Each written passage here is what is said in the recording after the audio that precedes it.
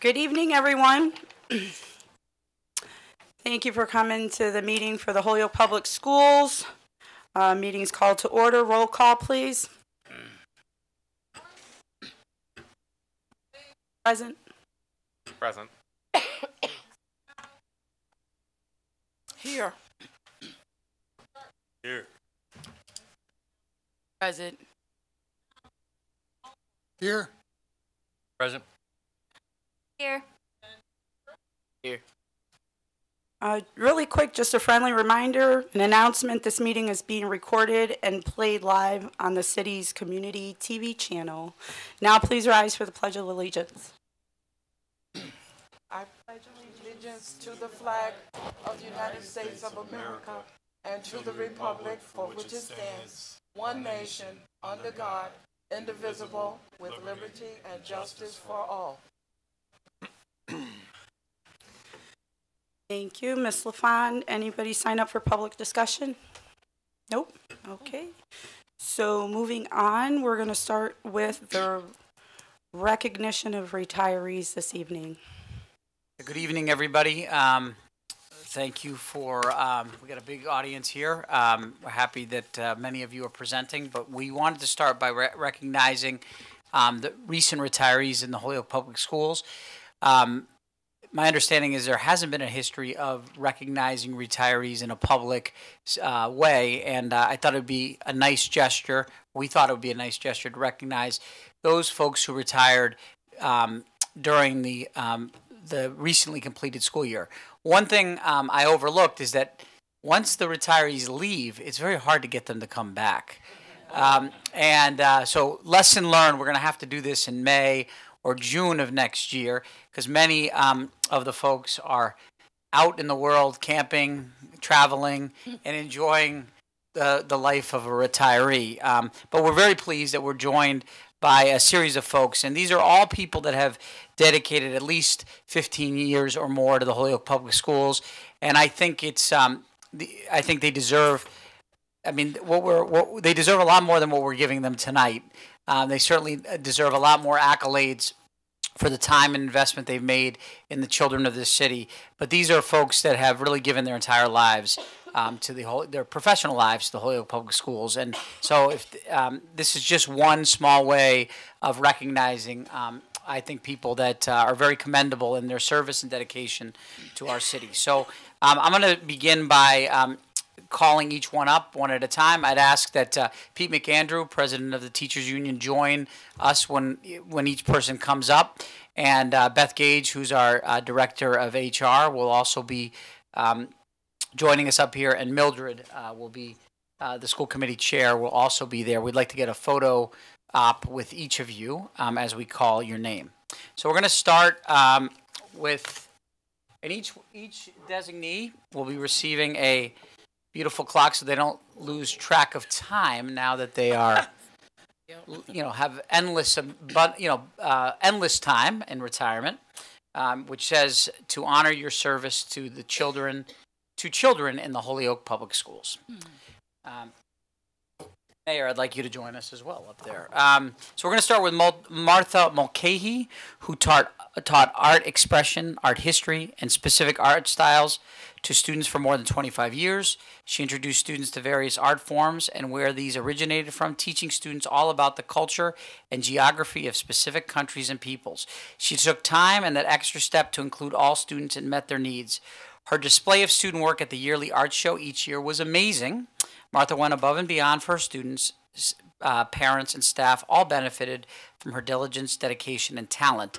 And she always, as long as I've known her, she taught in a very big open space, which certainly is not the envy of art teachers. One of the reasons we need new middle schools is so we have dedicated art space. Um, Martha, why don't you come up so we can recognize you?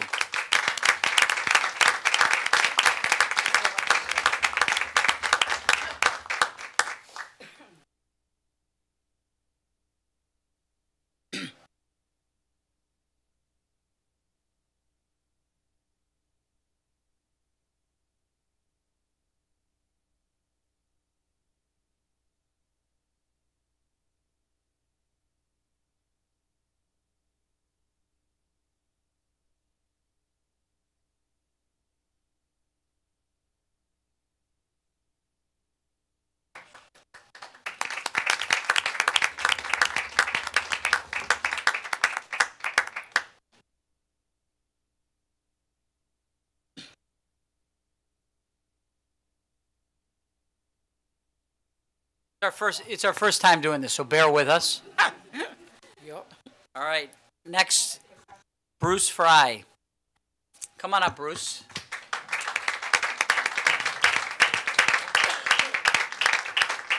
Bruce, like, go right, right in the center here, Bruce. So for 16 years, Bruce was a dedicated programming and web teacher, building technology lead. Spent. Uh, it was also a building technology lead at, and vocational director toward the end of his career. Bruce developed and implemented many of the systems still used for data collection, admissions, and building-based communication. He was instrumental in servicing all the technology at the Dean campus and keeping students and teachers online at all times. Bruce was a true professional who was capable of problem solving any dilemma that came up within the Dean community. Bruce's dedication and commitment to getting a job well done and doing it right was his strength. Congratulations, Bruce.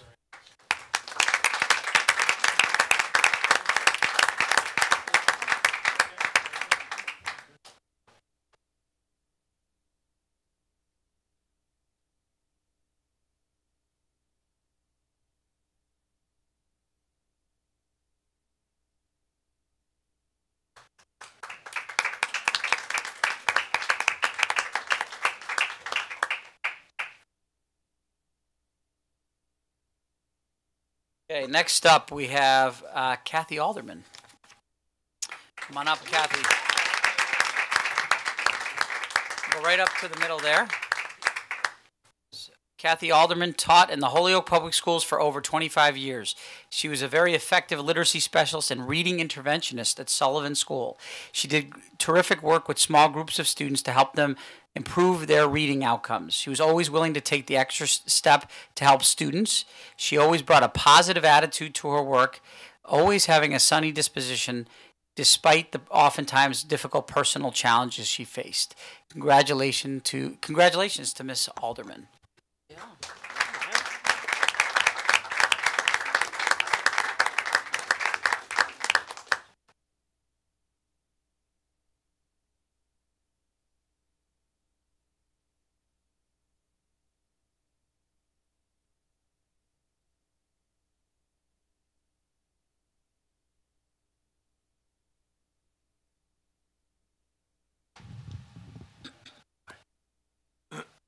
I just wanted to thank um, the school district for giving me this opportunity. Um, You probably did not realize it, but um, when I retired, it was very, very quick. And I had some health issues and my immune system was down, so I had to kind of come in in the sweep in the night when the students weren't there and the teachers weren't there and get my things and go. So I didn't get to say goodbye to my students or my colleagues. And so, um, and really have some closure. So I was so thrilled when you called and gave us this opportunity. And um, I also just want to say thank you for the opportunity to work with the students of Holyoke because they ignited my passion to teach and they gave me the motivation to come every day, no matter what was going on on the outside. And I want to thank my colleagues. I did seven years of leadership in the district, both in schools and district, and I had the unique opportunity to go out of my classroom and into other people's classrooms. And I was floored by the commitment and um, the willingness, the drive of the teachers, their craft. I picked up so much from them. And um, it was an, an amazing experience to see how the whole network works together um, and how it plays out in the classroom. And, and that opportunity, and I would, I would say that to anyone who could get into leadership because it gives you a voice, what's happening in the school district.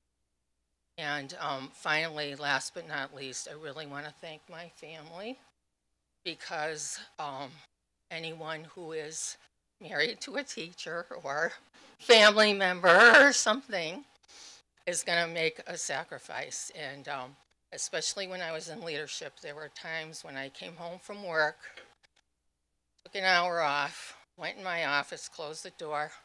My husband come in with a meal because I had to get something done.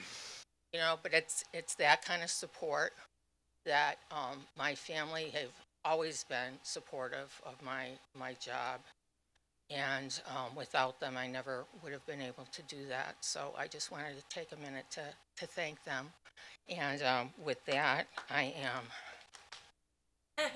know that everybody who's in the district, I'll be watching, I'll be there in spirit, but.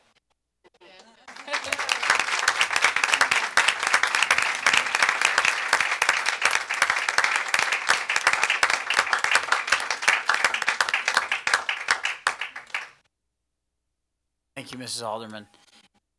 Um, and last but not least for this evening, unless I'm forgetting somebody in the audience, uh, Miss Elena Danick uh, spent her entire career. Come on up.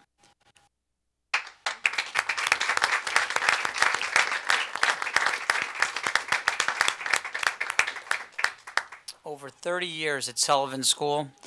She is a relentless planner. Her plans for every day and her ability to be ready for her children on a daily basis were impeccable. She was thoughtful and spent countless hours planning for lessons, and as a result of that, had great impact with her students, always getting terrific results, um, especially from her ESL students with whom she worked each and every day. Ms. Danik was universally friendly and never had a bad word to say about anybody with whom she worked or any of the students with whom she cared for.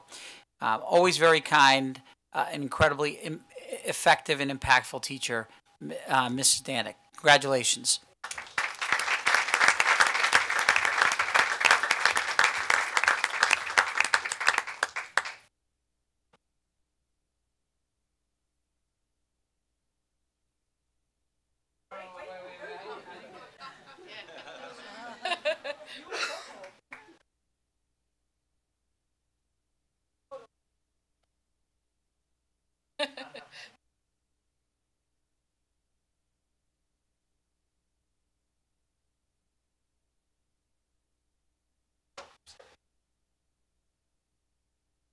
Um, I just finished my 33 years at Sullivan School. Uh, Sullivan School was my home away from home, more maybe my home. Um, what I like the most about the place I work were the children and the teachers that were there. Um, I have four principals, and each one of them made a difference in my life. Uh, I started with John, and I ended with John. Um, my kids were the most important thing in my life. A lot of people say they have heroes. And I come originally from Venezuela, and I would say Simon Bolivar, and here there was Sergio Washington. But in reality, my heroes were my children.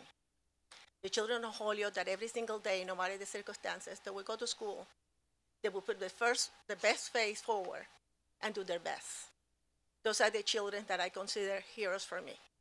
I think that if we inspire them to do their best, they will do and produce for us what we always want.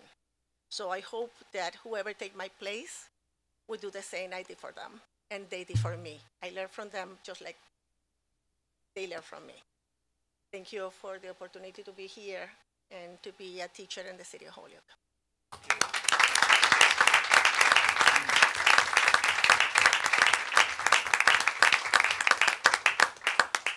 Um, I don't, Mr. Fry or uh, Frey or um, Ms. Mulcahy, if you want to say something, I didn't want to. We didn't know how this was going to go, so you're welcome to. I don't want to shortchange you if you'd like to say something. Well, uh, I got into teaching back in 2001, and it's kind of an interesting story. It was a midlife job change. The company I worked for uh, consolidated operations down in Georgia, and I had one of those moments in life where I could go to Georgia with my wife, or I could do something else. And it was the perfect opportunity to do something else and do something meaningful that helped other people. And it was the proudest moment in my life at the convocation back in August of uh, 2002 when I was recognized as one of the new incoming teachers. And I'm just so happy to have done what I could do for the children of Holyoke. Thank you very much for that opportunity. Thank you. Thank you, Bruce.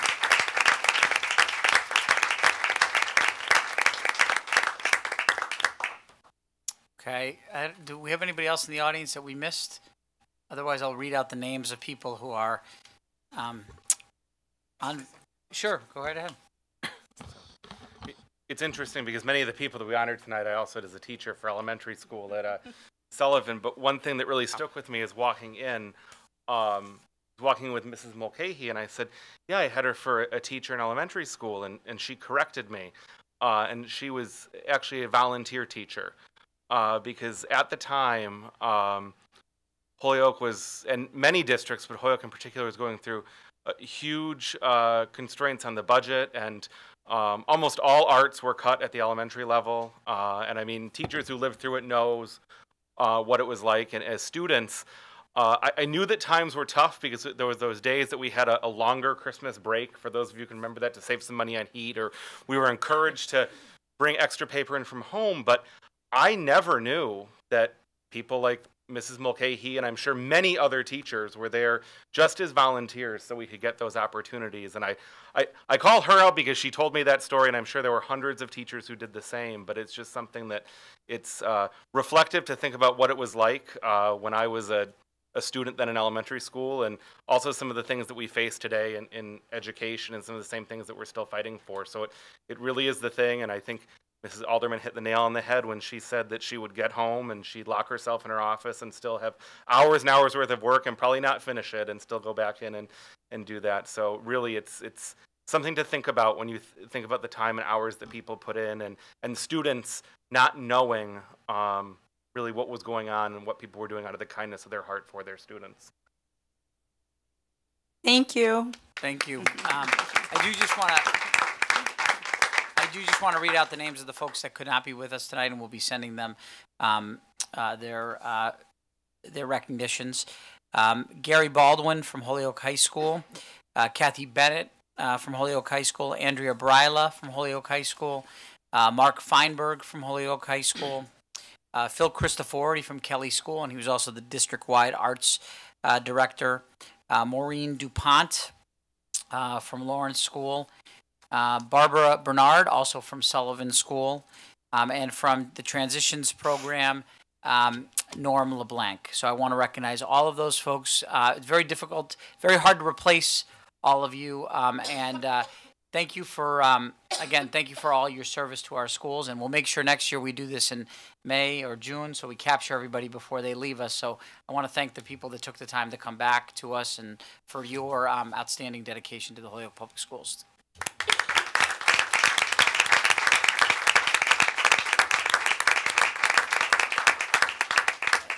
Please do not feel obligated to stay for the whole meeting. You know, you're no longer an employee of the school system anymore, so. All right. We're going to go ahead and move on um, with the student showcase. Opportunity Academy Oh, present. would- No, we're not going to go with student that. updates, student We're going to do student updates first. What I do want to say is I want to welcome Javon Perez. He will be representing Holyoke High Dean Campus. Welcome to the Holyoke School Committee. Can't wait to have you here every month. So we're going to start with him first. If you'd like to give an update on what's happening, what's hot, what's not. Um, everything's actually going pretty good. Our attendance is actually getting better, and we've seen that. That um, this year people are starting to go to school more, and we're a little bit strict about it now, but it's helping us very more. And I want to say that Dean's actually a good school. We changed a lot. Yeah, there's some stereotypes, but we came from a lot, and yeah. Thank you. And Miss Charlotte Brunette. Hey, uh, so school has begun at Holyoke High School North Campus, and with the new school year comes new technology. We got our brand new Vista projectors the eve before school started, and they've been used around many classrooms, though to mixed success because they were delivered, but there was no instruction manual. Um, all, as well, we've gotten um, new opportunities such as the Global Glimpse Club, which is a two-year leadership uh, group where you can take um, many opportunities such as traveling to Ecuador as part of your leadership training, as well as the beginning of fall sports with this especially good um, turnaround for girls volleyball. Excellent. Thank, Thank you. you. Anybody have any questions, comments? Nope. So then we're going to go ahead and move along to student showcase. Well, so this this uh, the present the student showcases are built into our presentations tonight. So we have students uh, that are going to be part of our two presentations. Uh, that one is our Opportunity Academy, um, uh, and there's a team from Opportunity Academy Ca- Academy that includes staff and students. Um, and then we have a brief presentation from our middle school success program as well, and that also includes uh, students, I believe. No, or is it just you, Mr. Peterson? Okay, well, at least we have you, but per- per- perhaps others. So why don't we start with Opportunity Academy? Uh, we didn't. We we uh, saved you all on death by PowerPoint this evening, so there are no PowerPoints. your um, the information that you need uh, is in your packet that Opportunity Academy presented. So I'm going to turn it over to the director of Opportunity Academy, Mickey Buell. All right, so students, come on up. Okay, they're right in here. Um, so as they're gathering, we gave you a PowerPoint that you can read with some of the basic information. But the most important thing to hear from us as the leaders is that Opportunity Academy is entirely about providing an individual pathway for each student for whom the big campuses don't work well. And there's all kinds of reasons for that. So we had a bunch of students come on up, come on up further, come on up in here so everybody can kind of be around. And so Opportunity Academy has three programs. Gateway to College, which we partner with HCC. The Success Center, which we run directly as HPS. And Lighthouse Holyoke, which we partner with. They're the nonprofit personalized learning school. And so we've got the directors from there. So, so Vivian and Catherine and Jeffrey come on up so that if we do have questions, we can answer them. But the real experts are right here. So I'm going to have two students um, share a couple remarks, and then we're hoping that your questions to understand what Opportunity Academy is all about can be answered through their experiences and their answers. So, um, so Miliani, I can either give you this to hold or I can give you this in the stand. What's going to be best for you? All right, this is Miliani. Why don't you introduce who you are? Um, good evening, my sorry, my Good evening. My name is Miliani Machuca, and I go to Gateway to college at HCC. I'm here to talk to you about my experience in a traditional high school and why going to Holyoke Community College Gateway to College program was the best option for me. Before I started my freshman year in Holyoke High, I was in a bad place, and what I mean by that is that I didn't care about anything. Personally, I had so much anger and hate within me, but I also did not know who I truly was or wanted to be as a person. And now, to me, knowing who you are plays a big role in being in a good place outside of school as well as in school. So, when I started my freshman year in Holyoke High, it wasn't horrible, but it wasn't good either. I would rarely show up to school, or if I did end up going, I would always go late. I wasn't interested in my classes or learning anything. Honestly, I was more focused on fitting in even though I felt like I didn't. But what does it mean to fit in? In HCC's Gateway to College program, there is no such thing as fitting in. Everybody gets along. My first day walking into the Gateway office, I was so nervous I didn't know what it was going to be like. I quickly assumed the worst. But as soon as I stepped in, a couple students came up to me and asked for my name and why I was there. They even checked to see if we had the same classes. They were really kind and they made me feel welcomed. After a few weeks, I had a few friends and I started to feel like I belonged. As for my classes, they were a bit hard in the beginning, but if it wasn't for Vivian Ostrowski and Julissa Colon pushing me to do better and helping me with my classes, I wouldn't have realized how much potential I had. My grades have astonishingly improved and I can finally say I'm in a great place with my academics and that I actually like going to school now. I graduated in December of 2019 and I plan to continue at HCC for nursing. I would be the first member of my family to go to college, and it's crazy because I wasn't planning on going. But Gateway to College made it an option for me, and they will do the same for you. Thank you for taking the time to hear my story, and I wish you all a good evening.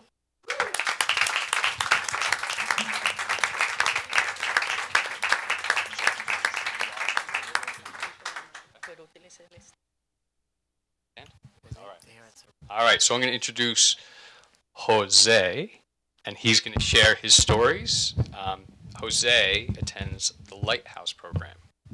Probando, probando. Eh, buenas tardes a todos. I'm really happy to be here with all of you. I'm Jose Serrano. I come from Lighthouse. And before I went to Holyoke High, I was a good student. I did really great things. But one day, everything changed. I didn't want to go to school. I start to leave my classes. I start doing bad stuff. But I'm not, I'm not here for that. I'm here to talk about Lighthouse. Lighthouse, it is and will be the future. Maybe some of you don't know what Lighthouse can do for our community. All I can say is that I was lost and Lighthouse found me. Maybe you take Lighthouse for granted, but Lighthouse lightened my path. And not just mine, impact all our community. People that didn't want to live are alive because of Lighthouse, because they were not looking at papers that somebody in the past wrote. They saw the people, the student that will make the future. The cars upgraded, the phone upgraded, and Lighthouse upgrade the education, not thinking how the world is today, but thinking how the world will be tomorrow. So the question, how Lighthouse impact me? Well, there's no word to describe it. I'm just thankful. Thank you.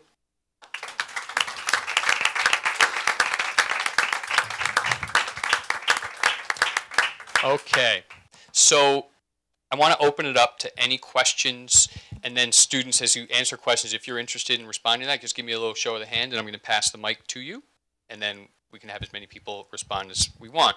We have students here from Gateway, from Lighthouse, and from the Success Center. So when you introduce yourself, you share your name, which program you're part of. Okay?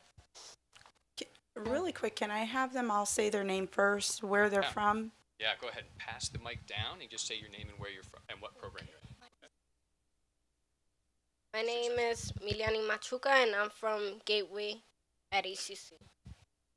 My name is Megan Ely, and I'm from Success Center. My name is Caitlin Paul, and I just graduated from Gateway in June. My name is Isaiah Acevedo, and I'm from the Success Center. My name is Nashley Orocho, and I'm from the Success Center. My name is Christine Ely, and I recently graduated from Success Center. My name is Jonathan Montanez, and I'm from Success Center. My name is Doris, and I'm from Lighthouse. My name is Mark Calderon, and I am from Success Center. I'm Jose Serrano, and I am from Lighthouse.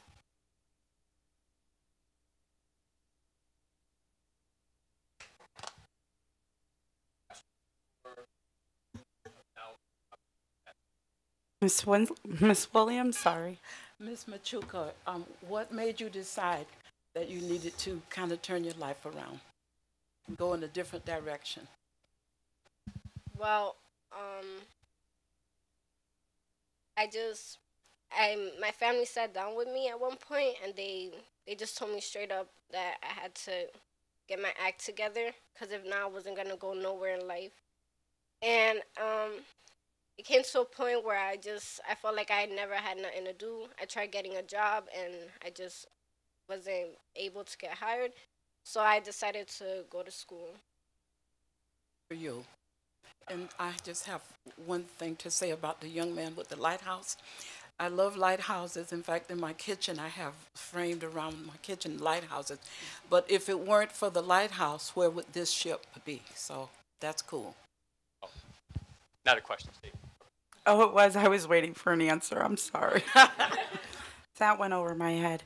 Mr. Kershane. Um, I, I was wondering if somebody from Success Center could tell me about how they got into Success Center and maybe there was a graduate I heard, or maybe that would be a good person to say how they got into Success Center, what it's done for them, and what it was all about. I think it'd be great if a couple of the students from Success Center could say what made the Success Center a good fit for you, uh, because it's a very different story for each student. Asked? Um, I was in Holyoke I wasn't even in Success Center to begin with. I was in Holyoke for four years. I switched to Success Center my senior year because I was behind in a lot of credits. Um, they helped me a lot to do with my credits. I wish Nicole was here so I could thank her because she was a, a great impact for my math class, but everything went well for me for be, to be able to graduate from there.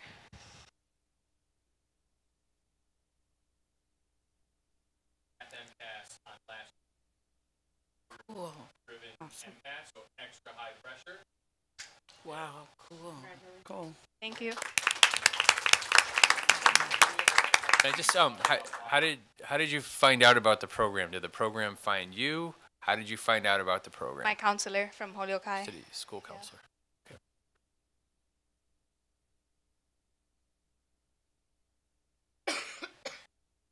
Come on, don't be shy. We went to school together. We switched the same year. Yeah. I was, I was, I was just referred by Mr. Mahoney because there wasn't anything going well for me in oh. Holyoke High. Always. Any way you can think of oh. it just was bad. I was going, I just wasn't doing nothing. So, yeah. I've earned way more credits than I was in Holyoke High. And I'll, if I could get all the credits by June, I'll graduate this year.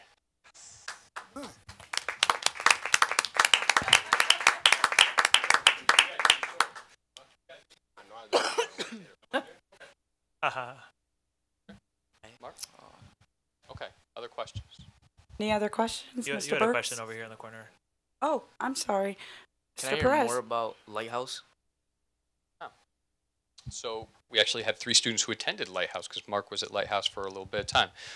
Doris, you want to say a little bit? Um, he just wants to explain a little bit more about Lighthouse, how Lighthouse works. Okay? And and it's actually interesting. Doris, you've seen the Success Center, Gateway, and Lighthouse during your career, right? So you can say a little bit about all. Okay.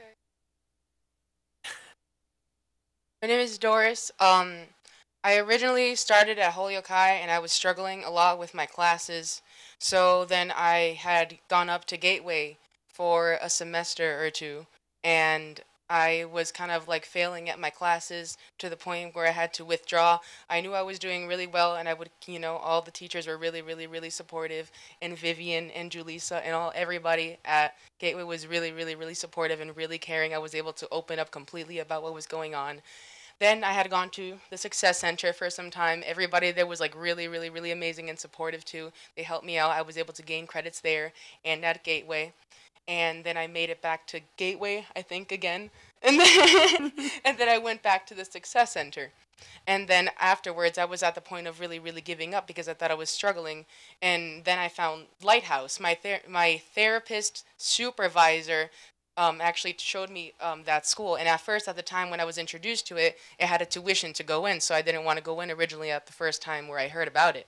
So then it had opened up publicly for students at Holyoke High to go, and so I was like really excited that, to get the opportunity to go there.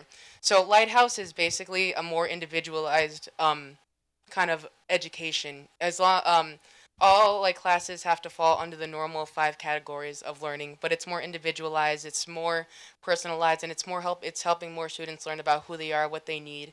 And for me, and what Lighthouse did for me, I was really, really struggling to cope with life, and kind of like even struggling to even want want to live. For a lot of points, I was going through a lot of things with my family in my life and people around me. And I think Lighthouse really helped me conquer that and get past that and have more inspiration for myself, help me grow, help me see the best in myself. And it helps everybody around in that school. Kids come like from all walks of life, and it's a very, very big age group. Kids from like, um, I think middle school all the way to the age of 22 can join. And it's a really really good community. It's a very familial community.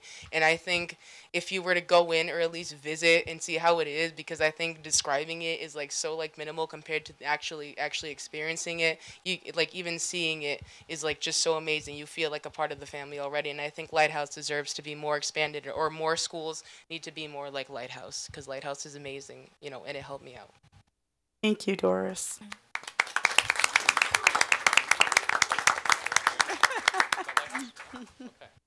Jose's like, no, that was good. That's good. all the way around. Mr. Burks. Wow.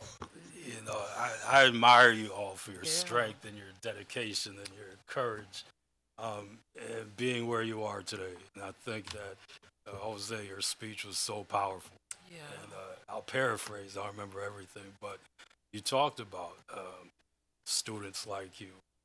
One day had felt like they had no reason to live, and then the next day they had a future. And another important thing that you said in there was that the people at at your where you went to be educated didn't look at what other folks wrote about you in the past, but they looked at you for who you are now. And you took that and you took your chance, and you took your opportunity and you ran with it. And you all did. And I'm very proud of you. And I hope that you're all very proud of yourselves because life can be hard. And not just school, just life in general. And you can do two things you can quit or you can move on. Oh, and you're all moving on and you're doing something that that I admire. You're inspiring to a lot of people. And I hope that you continue to have this strength for the rest of your lives. Um, so now my question is this, and I've heard some things about Lighthouse and Opportunity Academy, and aside from a lot of the supports that you've had to get there and the supports that you had while you were there, were, what was the learning experience about, and was there a subject or or a trade or something like that that you kind of took to, and now you're looking to do that in the future after you graduate? What are you looking to do in the future after you graduate? So I'm from Gateway, but the curriculum at Gateway, I wouldn't say it's, you know, easier than Holyoke High because that's where I'm from. If anything, in my eyes, it was harder. But I want to go into the medical field. I want to go to medical school and I want to be a doctor. One of the things Gateway did for me is they enrolled me into the EMT school at HCC. So because of Gateway, I am now a nationally and state certified EMT. Had a job interview today at Huntington. Think I'm going to get it.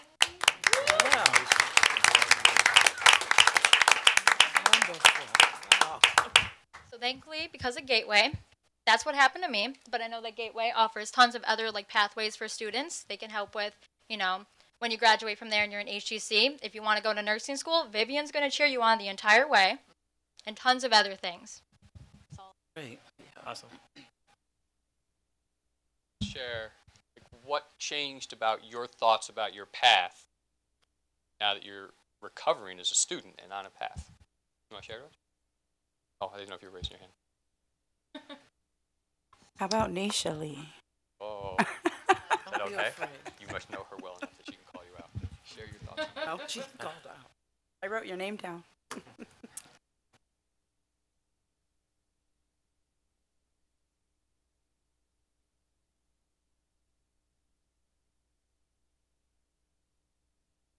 Yeah.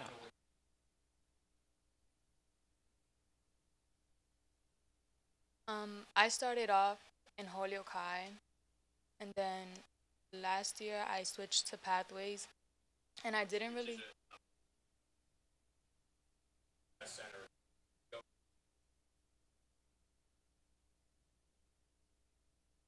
And I didn't really like it at first, and I wanted to go back to Holyoke High. So they let me go back, and I ended up dropping out last year. I came back again. Well, I wanted to come back again this year so that I can um, graduate. They're helping me graduate. They make they like make your schedule flexible so that you can be there and feel comfortable. I feel like you have to wake up so early or get out so late. And now they're gonna um, help me get into Gateway that I can catch up on credits and graduate by next year. Great, good.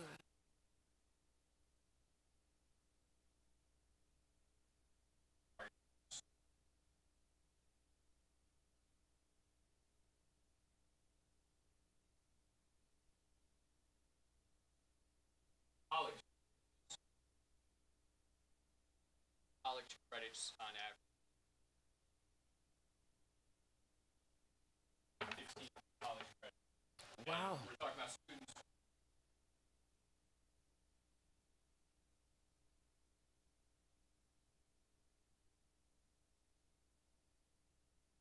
Picture is students have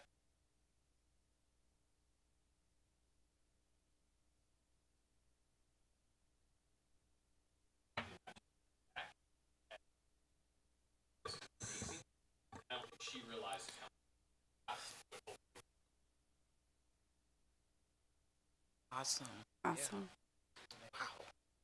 I just want to echo what some of the other members of the school committee have already said. I mean, this is the the future of public education, or really the present in the Holyoke Public Schools, and I think it really helps us live up to the fact that all students here deserve a, a different pathway, and that not everyone learns the same or requires the same experience or structure. And for so long in American education, we had one system and assumed that all students would fit into that um, that that that uh, that one structure, that one system of public education. And I just want to thank Dr. Zrike as well because this is also where a budget is a reflection of our values and our priorities, and we've been able to make the investments to to make these partnerships possible.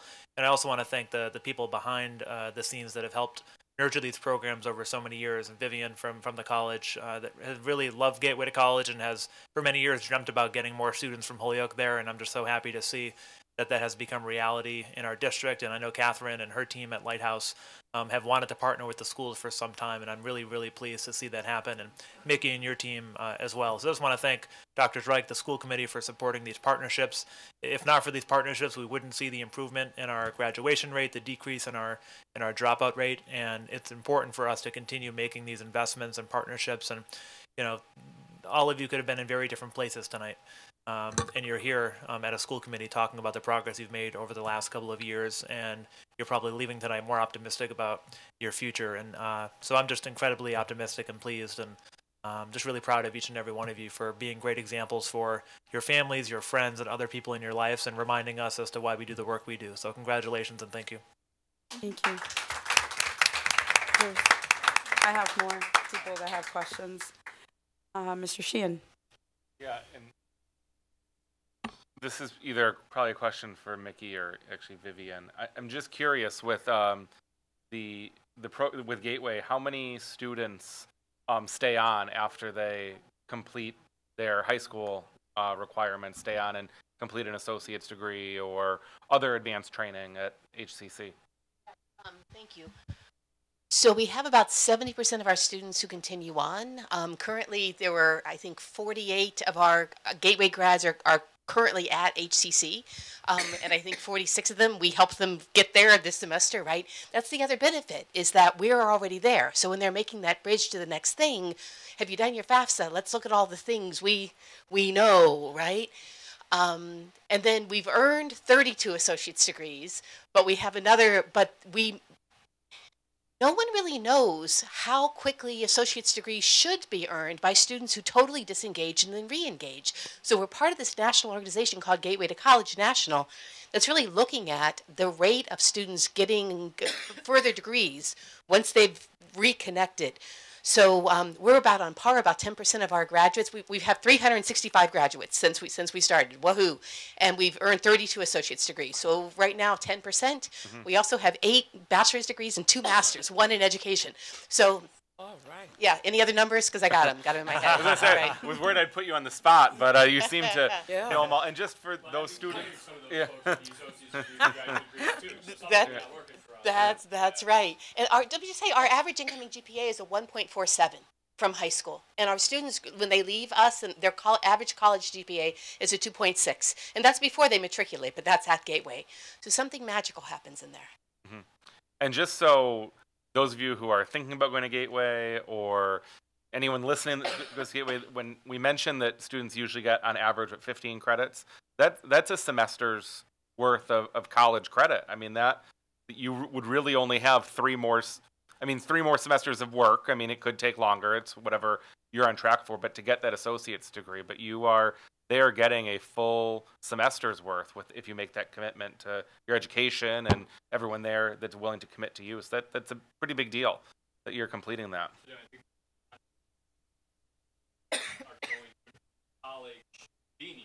Mm-hmm.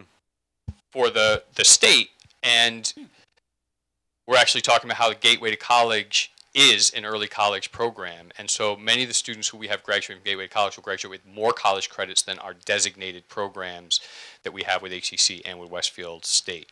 Um, so it's an amazingly successful place that has helped students. I love how Miliani shared that she was on a path that was going nowhere, and now she's got a future that she's going to be at HCC starting her associate's degree in January. Wow. Cool.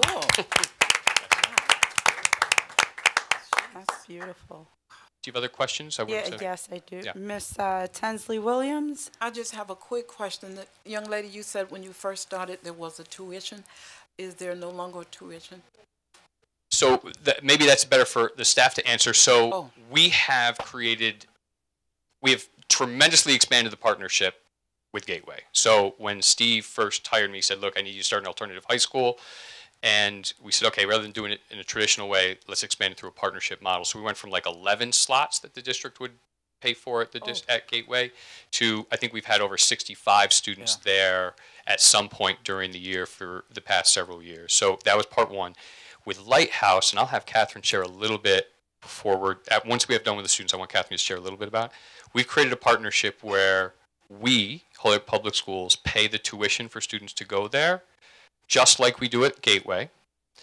And students who go there are earning a Holyoke High School diploma, meeting all the same cr- credit criteria and passing all the MCAS. And last year was the first big batch of students to take the MCAS, and I think we had a total of 16 MCASs attempted. So that means like same student might have taken three. 15 of the 16 were passing scores. Awesome. So an incredibly successful start. Great, thank you. Yeah, and I, at, after we're done with students, I'll, I'll have Catherine just share a little bit about that partnership because it's really innovative. Yeah, So I just, first of all, you got the right shirt on, Dartmouth College. I hope you want to go there because it's way better than the college. Brown is yeah, Brown's Yeah. better. Um, Mr. Mahoney can attest to that. Yeah. for you. Um, but I, I, I do want to just ask a question um, of any of you up here. What is it about the experience um, at wherever you go, Lighthouse, Success Center, or um, Gateway, that you maybe that we're not we were not providing you at Holyoke High School? Sounds like a lot of you were at Holyoke High North. Some of you may have been a dean. Be curious because you know we we know that the high school, the big campuses aren't going to work for everybody, but we think they should be working for more kids than they students than they are now. So just be curious uh, what your reflections because all of you did some time. It sounds like no, I don't. I don't mean did some time. That's the wrong. Spent. I apologize. Spent time at our at our high school. So I'm just curious what we can learn from your experience. Well, what worked out for me was that in Success Center they have smaller classes, and it helped for me because they have teachers there that give you more help, and I needed a lot more help than what I was getting in Holyoke High, and that just really helped me. And I was getting on my getting on task and earning a lot of credits, and, and it really helped me.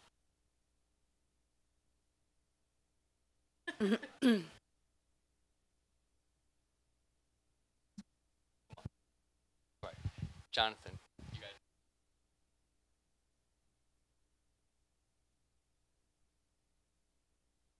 I just um I don't know, I just didn't like staying in class. I couldn't stay in one spot. So I would I would just get up in the middle of class and walk around and then Mr. Mahoney would catch me in the halls, bring me back to class. Five minutes after that, I'll go right back to the hallway. In Success Center, I could take a break when I want and then come back and be on task again. So that's why it's easier for me. I couldn't do that because I'll get in trouble.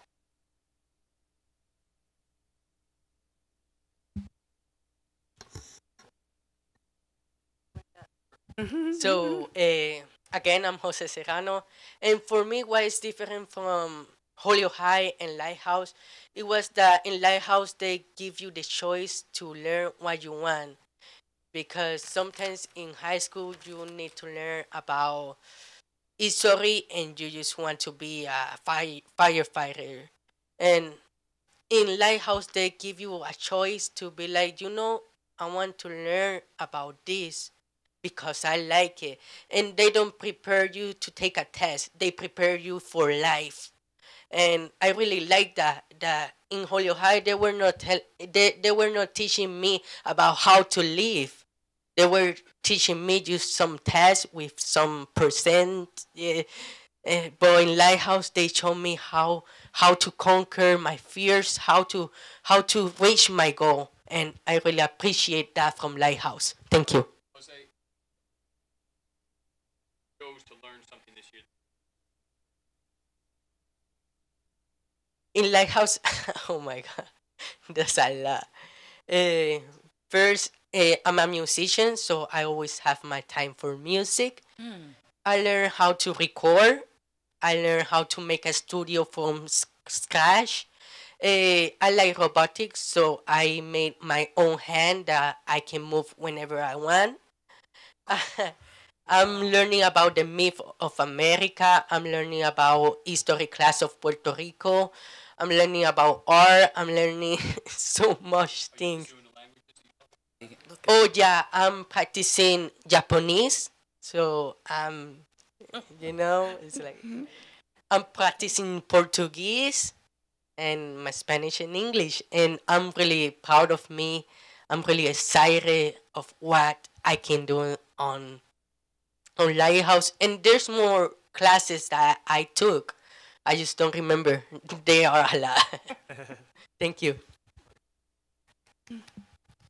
I think one thing throughout like my entire experience through all the different places that I've gone to, and I know it kind of like applies differently to every single person, but one thing I kind of like really really noticed strongly that kind of what I felt didn't work, and not just me, uh, like I kind of like my friends, you know, really close to me, kind of felt the same thing whenever where I went.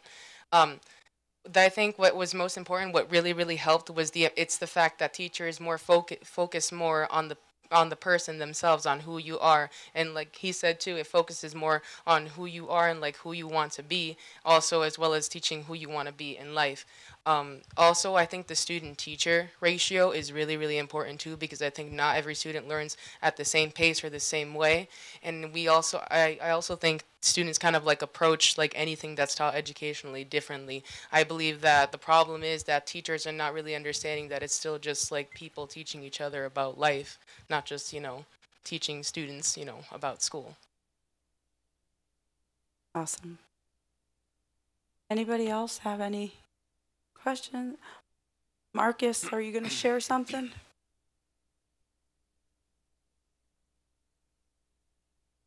I told them they didn't have to talk, um, and that's okay. Um, but if you have thoughts on it, soon. Any other questions, you guys? Yeah. Nobody has anything? Mine is going to be more of a comment. I think in the audience, I see one set of families. Is it one set of parents? Is there another? And they've So, a couple? I can't see back here. one there in the corner. Oh, okay. Have, yes. Well, I'm going to raise my hand too because I'm one of those parents as well. So I sit here, and one of the special things, or one, what I like to hear is when I see students who have struggled. You know why? Because I see it every day in my own child.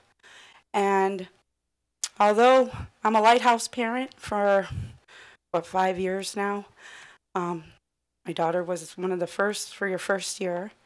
And um, us as parents, we see the struggles that our children go through.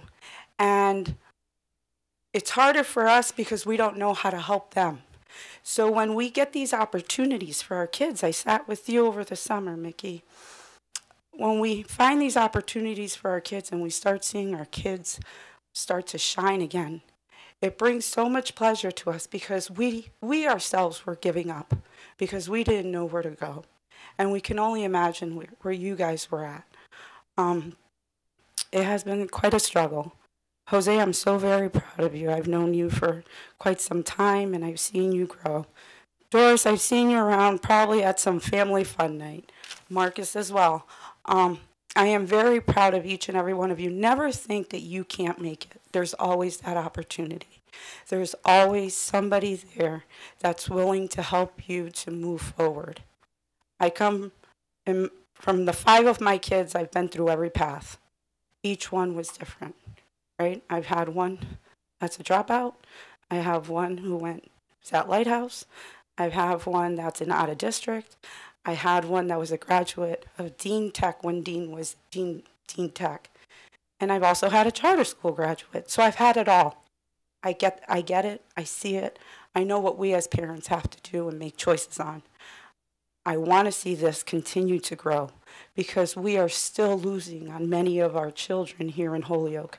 There are still many that are still dropping out, and probably because there is no space or because they don't know the other opportunities. So, what we need to do is keep expanding.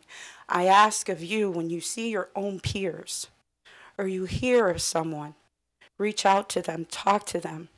don't give up on them because I I'm sure that there was a time where you thought everybody gave up on you. Be that person to help them to succeed as well where you guys are succeeding. Thank you. Thank you for being here and for sharing your story. I know it's it's it's tough. It's tough as us as parents as well sometimes to say our stories. We try to keep our personal stuff private so nobody else knows, but sometimes we need to share that because there's another parent sitting next to us that needs to hear that. Thank you. Thank you. Are there any students who didn't get to share something they would like to share? Would you have any closing thoughts that you'd like to share? Got, you got words in your every time.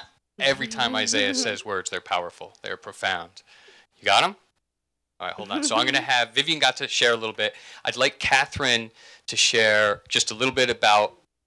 Uh, it's been three years, four years now that I've been working with you, and you probably were working with Steve for a little bit before that. Just share a little bit about your perspective on partnership, and then. Um, Sure, I'll just I'll be brief and I'll answer your question. My name is Catherine Gobron. I'm the co-founder and executive director of Lighthouse. We planned and, and created Lighthouse at the same time as receivership was, was happening.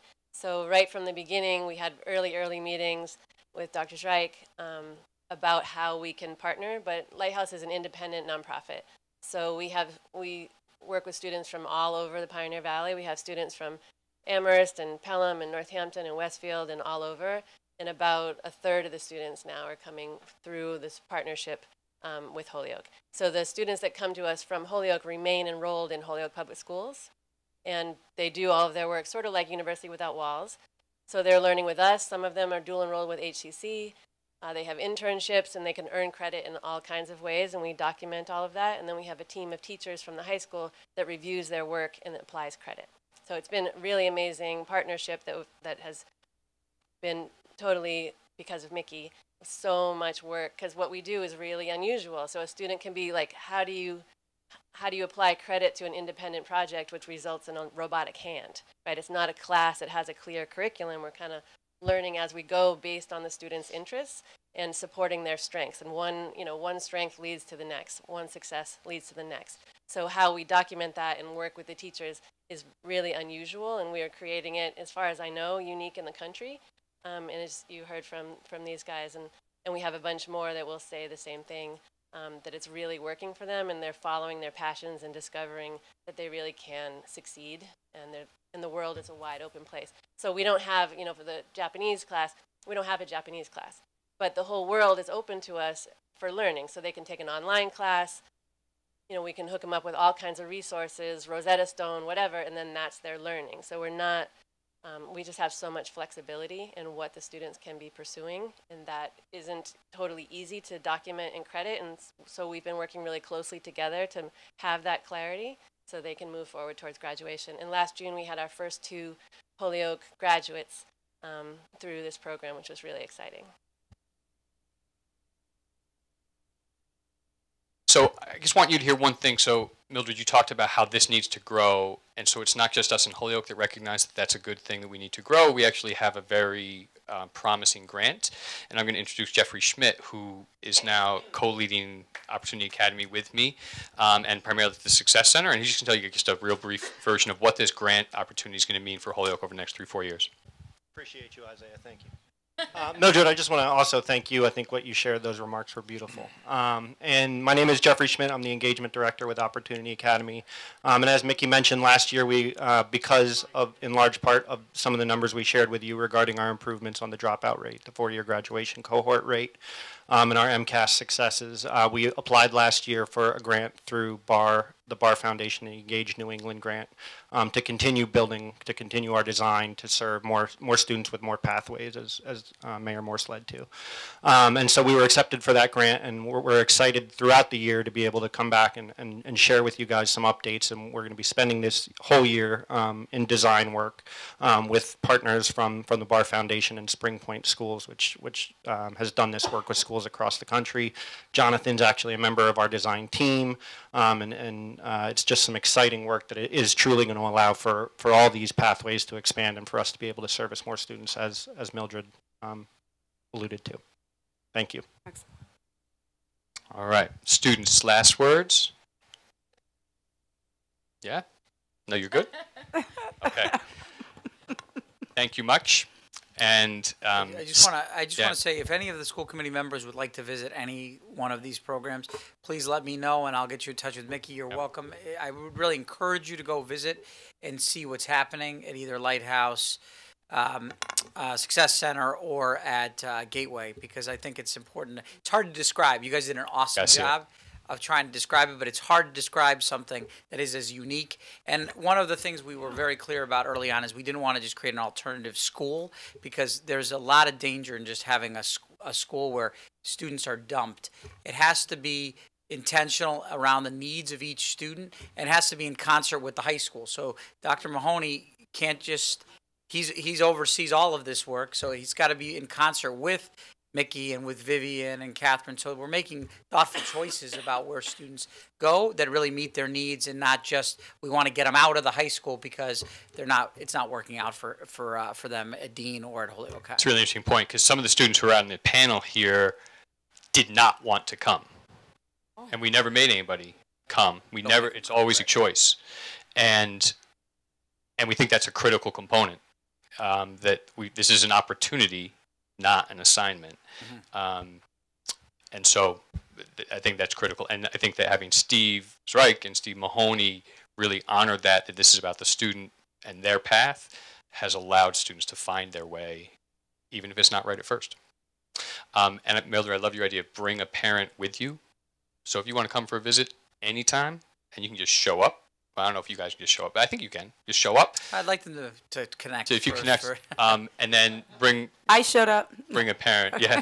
so some people here don't follow rules all the time. Yeah, right, right. Um, students, thank you. You guys did great. Um, we can uh, meet you outside and we'll get you home. Um, and thank you for all the time. I really appreciate it. Thank you.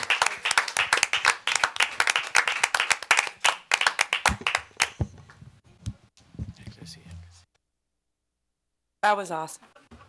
Mr. Cushane? Um, how, how many students are in all? Mickey, Mickey. Mickey, Oh, oh I, thought, I didn't know if we knew or you. Oh. Know, uh, how many students are in all three programs?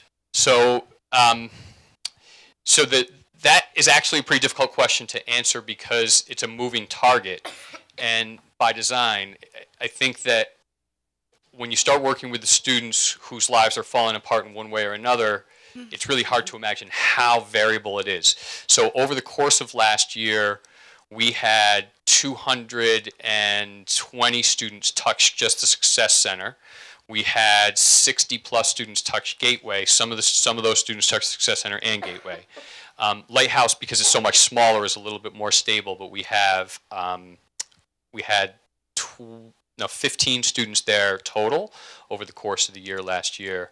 Um, at any one time, we would have about 35 students at Gateway, 10 to 15 at Lighthouse, and early in the year, well, we actually started over 100, so 105 to 120 at the Success Center. And the other piece that we we didn't get any of the adult learners here, but because they've got responsibilities in life that are beyond um, just school, but we also have 40 adult learners at the Success Center who are learning alongside the high school students and serving both as role models and mentors and furthering their own path to education. So I know it's a complicated answer. Well, yeah, try to. s- There's 151. It says right here. On our enrollment report. No, okay, so a one- it's not a 151 at the time that we printed this, Okay, yeah? so I okay, And that, I'm sure that's different today. And that's, uh, you think, you know, last year, I, I can't remember what year it was that the graduation rate improved by 20% from five years ago. And I, you know, it's, I think it's hard for um, people who don't know about these programs to understand how that's possible.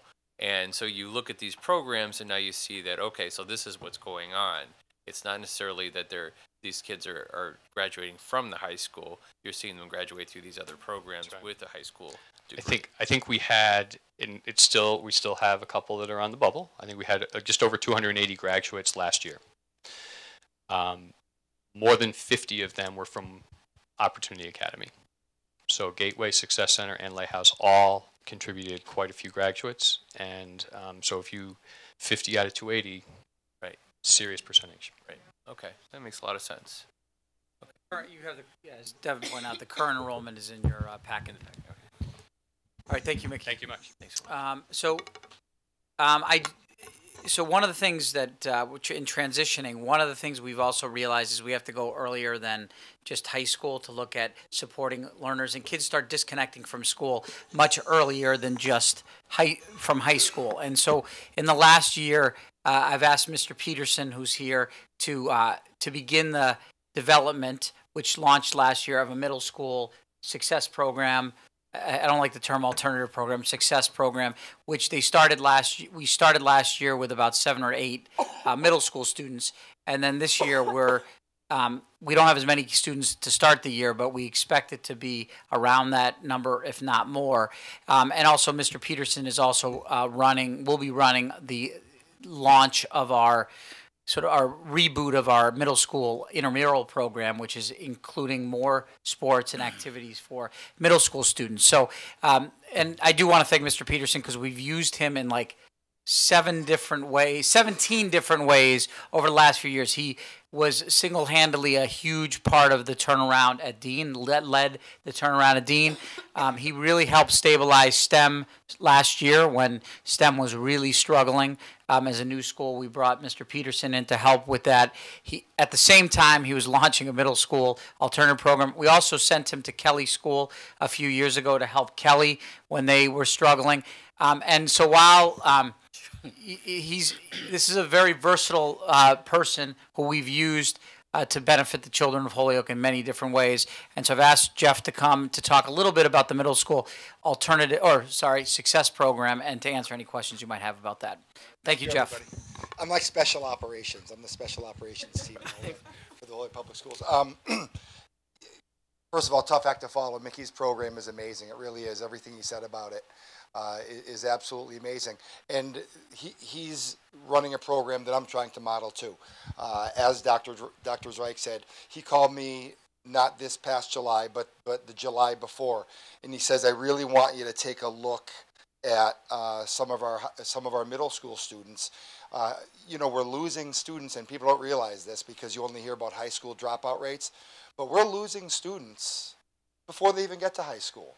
And uh, that, that kind of goes under the radar, and that's amazing, and that can't happen to be losing 13 year olds, 14 year old students. Uh, so we really dug in to, uh, to this situation. And, you know, last year, like Dr. Zrike was saying, it was a difficult year because I did start the year uh, working with Dr. Zrike and with uh, the Department of Education on how we can build a program to serve some of the kids that are struggling in middle school. And uh, you know, last year we we focused on kids that were essentially attendance or behavior problems, and we serviced 11 kids total last year. Um, some of them have moved out of the district, uh, but the ones that are still here in district, there's eight of them.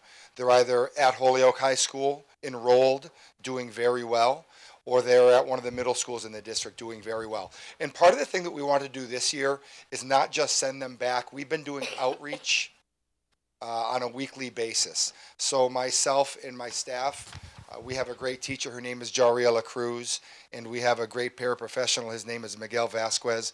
Some of you may know him as Papo. Uh, we we actually go to the schools and we sit down and we do check-ins with the kids. We do check-ins with the parents. Um, if if they are having issues with with anything that's going on at the school, they call us and we go right down. So that's kind of a big part of our program. And we're hoping that outreach is going to be something that is going to be a big part of that moving forward. Uh, you know, moving into this year, I decided to take a look at all the eighth graders that were overaged because we find that students that get to be into high school that are 15 years old or 16 years old as freshmen, they often don't make it, unfortunately. And that's, it, it's not their fault, but by the time they get to be juniors, they're 18 or 19 and, and they're done. They want to be done, they're mature. They just don't want to be there anymore. So, w- what have we done as a district to really grab those kids before they get to that point? Um, I found over the summer, I found two students that were 16 years old going into eighth grade. And uh, so we grabbed them. And I met with Dr. Mahoney and I said, listen, if we if, if we keep these students in eighth grade for another year, I don't know what, what's going to happen to them in three years. And I'm sure they'd go to school as freshmen and they'd probably go to school as sophomores. But if we don't have the foresight to see what's going to happen three or four years down the road, we're going to lose these kids. So Dr. Mahoney was nice enough to, to allow me to accelerate some students and allow them to skip eighth grade and go right into ninth grade this year. And I've been doing check-ins with them all along. And, and I- have to say that uh, they're doing excellent. They're doing very well. Um, we also have some students that are in a little bit different situation where they're coming with me to my program, which is the, the Holyoke Boys and Girls Club. Um, they're going to be with me for a half a year, and then they're going to transition to the high school. They're just in a different position. So we're, we're finding the students uh, that are in need, even if they don't really know that they're in need right now. We're finding them, we're meeting with them, we're meeting with the families, and we're giving them options. And I think that the families are really happy that they have an option. And, you know, their options are, listen, you can stay in your middle school if you'd like to. That's great, we'll support you. Um, if you want to come with me to my program, I'm going to give you um, a hybrid curriculum of eighth grade and ninth grade. So we can transition to the high school this year, or you can just transition to the high school. So we're doing a lot of different things um, based on what the what the needs of the students are. You heard Mickey talk about Lighthouse, how the students are kind of able to tailor their education. We want to try to do that too. Um, I'm, I'm, I'm very excited to say that the students that were with us last year are re-engaged in school because of the experience they had with us. And listen, I think that's eight kids that are going to graduate now because they had this experience in middle school. And these were kids that were probably not going to make it to high school the next year. Uh, but, but they're here and they're enrolled in our school or they're enrolled somewhere else. So we're very happy about that. Um, any questions about that before I transition into the middle school intramural sports program? Any questions about my middle grade success Mr. program? Collmore? Uh, Just a question about parent involvement Yeah, with the, the students that you're having problems with. yeah. There any problem with the parent involvement? Uh, are the parents cooperating with you? Yeah, very cooperative. So my program is completely volunteer. Uh, we, we cannot force any child to come to our program, even if we think it's best. Uh, the decision is completely up to the parents, and we tell them that. Like I said earlier, they have the option. If you want to come with me and, and, and let, let us work on what your issues are, uh, that is totally up to you. And we, virtually all the parents have been very happy about it, and they, they send them to me and they're very happy about it. Um, and I'm also getting a lot of parents inquiring about the program. Uh, we're getting phone calls saying, "Hey, so and so wants their son to come to this program. Can can so and so come and check out the program?" So it's getting out there. It's it's pretty good. I have DCF calling me now saying, "Hey, I heard about this program that you're running. Can can I recommend a kid to you?" Uh, so it's getting out there. This is only the second year. Last year was the first year, but I think most of you know my time was really split, and I spent a majority of my time at STEM last year uh, after, after the beginning of the school year. So I, unfortunately, I don't think I gave this program the effort that I should have. But this year, I'm, I'm committed on really getting it off the ground and hopefully building it into a program like Mickey has at his at, at the secondary level. Super. Any other questions? Je- uh, Jeff, can you just talk about the locate, like where it's located and Yeah, yeah. This year we are housed at the Holyoke Boys and Girls Club. Um, we've, you know, we thought it was important to have this school off-site, not be at a school. And uh, we we have a, a relationship that we built over the last couple of years with the Boys and Girls Club, where we're using their space, and uh, they have a great setup there. They have um, uh, classrooms, they have technology, they have gym space. Uh, it's a short walk to the park. We went to the park today. It was great. And and you know the, the the same thing that Mickey allows his kids to do. Our kids can come and work for 15 minutes, and then hey, can I take a break? Of course. And they can get up and they can take a break for five minutes. And and it's huge. It's it's huge. They they get up for five minutes. They come back and they sit down and they're ready to go. And maybe they have to take a break every 15 minutes. That's okay. But as a public school, uh, you know, as the leader of a larger school, you really can't have everybody doing that. It's just the way that it works. You can't have all of your kids getting up and taking breaks. Um, so these kids are certainly benefiting from the, the freedom, yet the high expectations that we have. They're getting so much work done and they're learning so much because they actually have the freedom and we, we, we, we treat the students, we treat the students uh, like young adults and it's really paying off for us. yes, sir. So I just want to say, like you're talking about expanding the opportunities at the high school opportunity academy. This is probably the most important next thing to expand. So the students that Jeff had last year, Jeff had had me and a couple of our folks from my team come and introduce ourselves so that we they kind of knew that path was available to them, and their maturity and ownership over their path was dramatically different than the average middle school kid. And so the same thing that you heard from our high school students, you'd have heard the similar thing from from the students in the middle success grade middle grade success program. Um, and the connections we actually have our students at the Success Center at the Boys and Girls Club every Friday to do the non-academic parts what should be high school and we'll be starting to integrate together on some stuff with with time uh, but this this program needs to grow because the the most important area to, to stem the dropout risk right now that we haven't been able to do as thoroughly is in that seventh eighth grade years Miss Rosalie Williams. Um, I just want to say to Mr. Peterson, um, keep up the good work. Anything we can do, don't hesitate to call on us. Thank 'cause you. Everybody's always been so excellent. supportive, all of you. Thank you. Uh, Mr. Cushay. So what what are the um what are the constraints that you have in that location? Like what's the max number you could you know Yeah. comfortably get at at the Boys and Girls Club? Yeah, it, it's a really good question. It's not, I wouldn't say that the constraints we have is because of space. Uh, it is very important for our classes to be eight to 10 range because our students uh, that we're serving right now, they, they excel in that range, eight to 10.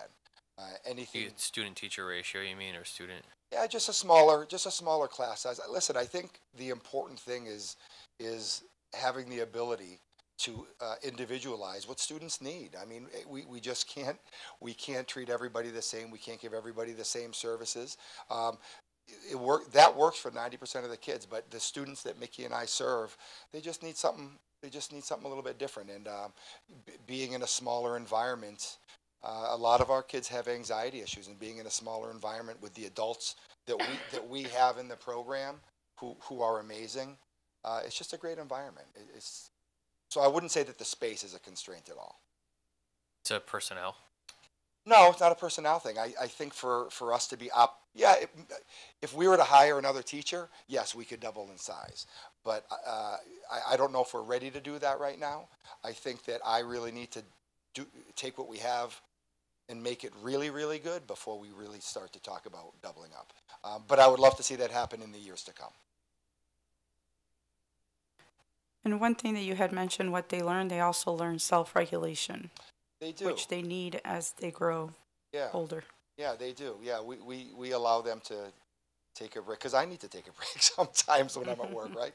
So uh, we allow them to take a deep breath, and that's okay that they have to do that, and they shouldn't have to feel ashamed. Yeah. Uh, c- I Oh. Mr. Burks? Mr. Peterson, I just I want to thank you for everything that you've done since your time here in Holyoke Public Schools. You have been a tremendous asset to uh, to this district. You you did. You came in. You you developed a great team here at Dean. You did a great job turning it around, um, and your value um, was able to be spread throughout the district and was needed. And you and you stepped up to any challenge that was given to you, and you made a huge difference in the in a lot of students' lives. Um, I want to thank Mickey for what he's done. Also, um, known him for a while. He's been in the district for a while. Um, and this is, I think, tonight's meeting um, opened my eyes a lot um, to really what's going on in the district in terms of um, all of our students um, having opportunities, especially those who uh, don't normally have them. And you two um, are doing a lot to, to give them those opportunities, as well as the teachers and other supports that they have, which is which is incredible. Um, tonight was a meeting where people really spoke from the heart, and some things that kind of turns me off is like a lot of uh, buzzwords and academic rhetoric that comes along with it. And you guys are really passionate about what you're doing, and it shows. And it shows in the students that come. It shows in the students that that you affect. You know, so I know that you're doing this with a passion and with a feeling that that um, and a love and a love for the students and for what you do. And, and it shows and it's spreading throughout the district. And that's why we're seeing the gains that we're seeing.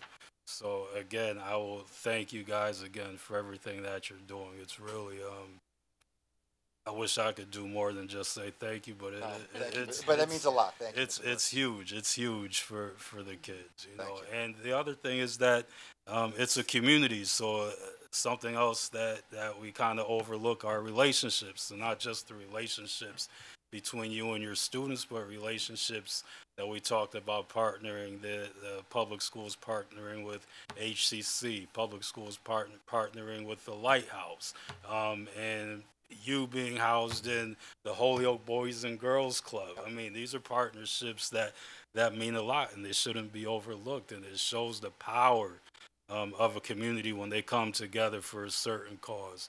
And um, and we should recognize that. And we should learn from that um, as a community tonight. That we're not gonna. No one does this alone.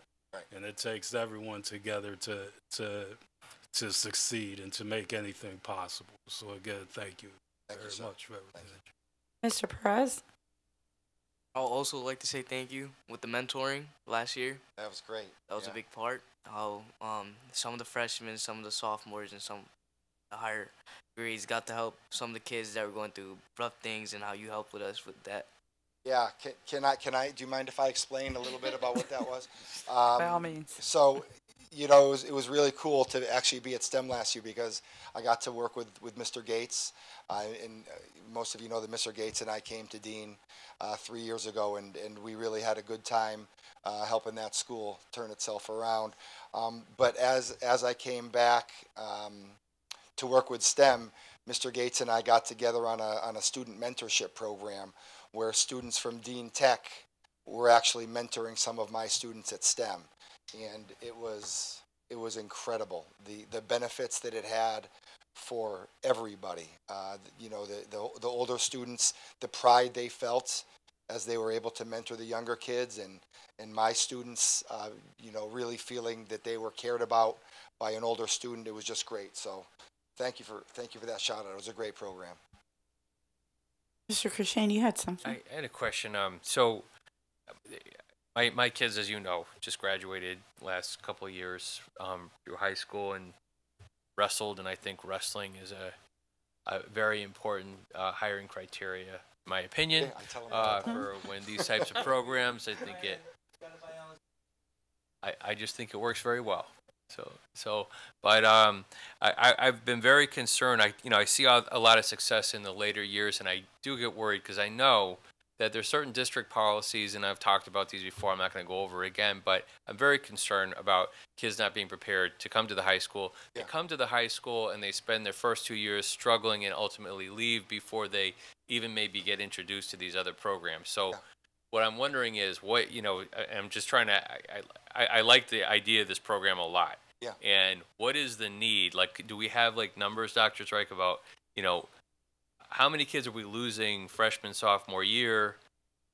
You know, we're we're at between you know the number ten and what number are we losing that need to be in a program like this, and how do we bridge that gap? Yeah, I mean, we, I mean, our our dropout numbers total have gone down. I mean, I think we had 50 dropouts last year total in the system. Um, but I, I think the issue is more. There are a lot of kids who are entering high school not prepared, really disengaged, and so whether they end up dropping out or just really sort of spiraling as they get to high school, and they and they if you're disengaged, you tend to also be the child that's roaming in the building, causing disruption because you feel disengaged because we haven't done our job in um, supporting them, and that's why we think backing it up. eh, You know, there's there is a, a number of ninth graders who really struggle. Some of them do drop out. Some of them uh, are ending up in are find their way to Opportunity Academy, but it's a little too late. Um, and what we want to do is avoid the big gap. Dr. Mahoney could t- talk about the, the, the you know the the not freshmen are the ones that struggle the most um, behaviorally. uh, because they're disengaged when they get to the high school. So we really, um, but it starts in sixth, seventh, and eighth grade, and that's the purpose. We know who these kids are already that are going to struggle as ninth graders, and we're not doing enough about it, and that's the. Uh, There's a there's a relationship between myself and Dr. Mahoney already talking about kids. Uh, I, I don't just I don't just send kids to him that I know would struggle. We have conversations. Um, I, I- talk to his team. I say, listen, this student has these strengths. This student has these weaknesses. Um, I've been in contact with this family, and uh, like we we have those conversations. Um, and I think we can even do a better job of having more of those conversations. But I- I'm really taking it as my responsibility to know every middle school kid in this district and know exactly what they need. Okay, like that's what I'm trying to do. Um, do I know that right now, sitting here? No, but a year from now, I, I better. Like I better know that. Um, I've I've been in every every middle school in the district already since school started, and uh, I'm I'm here to help the kids. And you know, Papo, um, Miguel Vasquez, who I think a lot of you know, um, he knows all the kids. He knows all the kids, and I'll, take Papo with me, and we'll have those difficult conversations about whatever's going on in their lives. He can say some things that I probably can't say. So he, we, we, we right, we we hit him. We hit him pretty good. Like we hit these kids pretty good. So by Christmas time, there's there's not going to be many kids in sixth, seventh, and eighth grade that I don't know. Um, but you're 100% right. But that's why we're doing this. That's why we're doing it. Um, Sorry. Yeah. Go on. I, I, I'll just be really quick about the middle school because I listen. It's past my bedtime already. Um, You're good. I'll just be really quick. no, I'm, I'm real serious. Yeah, um, I'll be really quick about the middle uh, the middle school um, intramural program.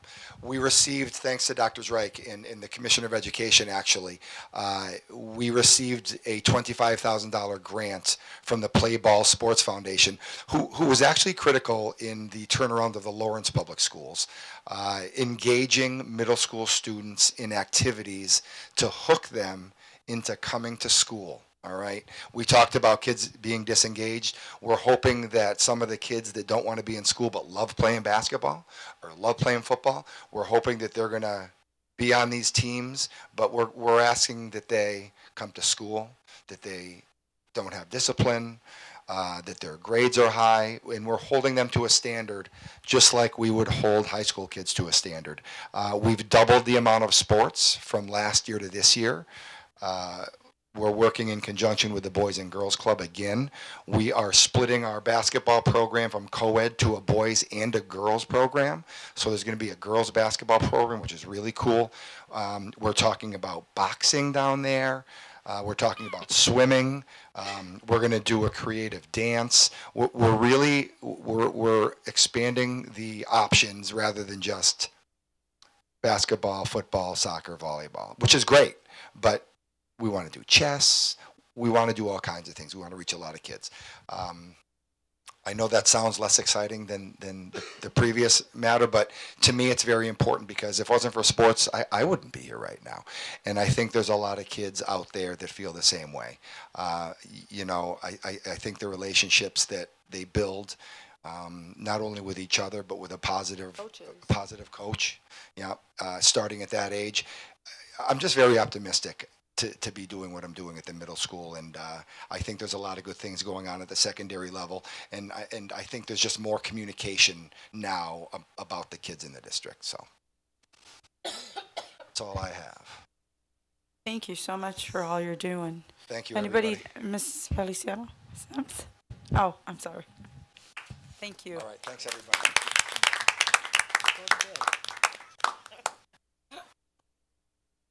Wow, that's been quite, quite a lot of information and, and a lot of success stories. I'm not going to follow any of that, so you have my notes.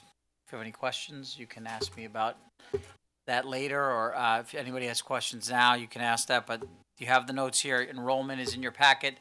We're over 100 more students than we were a year ago at this time, um, so that's a good sign. So enrollment looks like it will be up this October 1st. Certainly still have a week and a half left. Um, And I'm going to stop right there. It's been a lot of information. Mr. All right. Perez? There's some things that I forgot to add about Dean. Okay. I think it's a good community because it's not only about like the teachers, us students, we get to do not what we want, but we're in charge sometimes. Like town hall, we be in charge of it. We do what we do. Like um, this upcoming town hall, it's gonna be Diesel doing it, and then um, what else I was gonna say? Um, whenever we want to recognize someone, we do it. Like someone's birthday in the cafeteria, we sing happy birthday for them, and that's how good of a community we are. We sing. We have a teacher that sings for them. So yeah. That's awesome. Thank you. Yeah. There's a lot of wonderful things happening in our district, you know, and we have to be very happy and proud of even all the successes, you know. There's always going to be some wrongs, but we are, we have to continue building on the successes within our district. And this Opportunity Academy, the between middle schoolers, including high schoolers, is is that path to moving forward for our city. So, being that you don't want to share your superintendent receiver correspondence, we can look at it. Yeah, I don't want to keep people here all night, so. Any any new business? No. Timeout. Sorry about that. Old business. Really quick, I know last um, our last school committee meeting, I believe we talked about the um, breakdown uh, into the sub subgroups and numbers. Can we get that for the next, being that we're having an MCAS Yes. uh, comprehensive review? Yep. We, you're talking about discipline and The attendance discipline, and- attendance, you name it, suspensions, everything, arrests. Any update on the city council school committee meeting? Gonna get together, trying to schedule it. Don't worry about it. We're scheduling it as we speak. So hopefully, uh, end of this month or sometime next week. Yeah, on the 10th. Awesome. Mildred. Yes, Miss Brunel. Um, just want to point out there's an information session on Wednesday night at the senior center for anybody within the community looking to get more information on the proposed middle school project. Um, the more information you have, the more of an educated vote you can cast. So please attend that. Uh, what time is it at? Six. 6:30. Six thirty at the senior center this coming Wednesday. So two days from today. Thanks. Excellent. Any announcements? You know, we get this beautiful handout with all these announcements on it. And some people in our that are probably watching us, hello, in the TV world, they don't, they're not aware of these. I'm sorry. So open houses we know about, but tomorrow's Holyoke Day at the Big E. So whoever uh, wants to go and represent their city, please go represent Holyoke. The parade um, starts at five. We're gonna have the Holyoke High School band and cheerleaders. Um, the Holyoke High Athletic Hall of Fame. I know that's something that Mr. Brunel was really uh, working on. Um, that's October 5th at the warehouse. Um, so tickets are available. They have a list of people that they are going to be inaugurating into the Holyoke High Athletic Hall of Fame. Uh, there's the Holyoke Chamber of Commerce and Holyoke Public Schools supplies drive.